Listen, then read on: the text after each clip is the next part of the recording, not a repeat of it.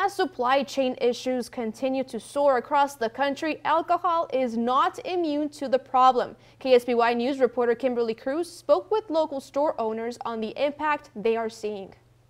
The New Year toast may be harder to do with alcohol shortages hitting local stores. We have like shortage of everything, you name it, like start from liquor, wine, beer. The backup in the port of Long Beach is making imports from other countries harder to make it to their final destination. Due to the fact that we have such a global collection of wines and we, we feature roughly half of our wines are from all over the world. So we are definitely impacted because all of those are sitting off the port in Long Beach. So some of them, they're not bringing at all, some like brands.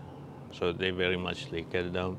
Some of them like, we have to wait uh, like a month sometimes, sometimes two months to bin and some stuff we not see it for a year now. Now, according to the data provider IRI worldwide, 11% of alcoholic beverages have been sold out in U.S. stores since November 28th of this year. Aaron, owner of Slow Wine and Beer Company, says he saw the problem coming and stocked up as much as he could for the holiday season. We're able to to get by with style, but at the same time, there's still, you know, several wines that um, I would love to have that that won't make it until till next year. But the problem isn't just in receiving the product. Other factors are contributing to the issue. There's a shortage in glass.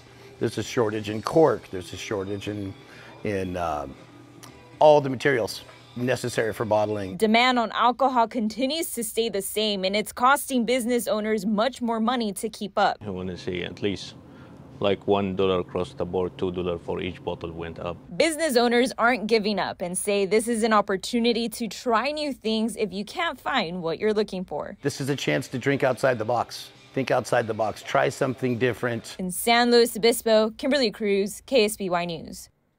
And better prepare right before the holidays. Experts predict the supply chain may start to have a normal flow by the end of 2022.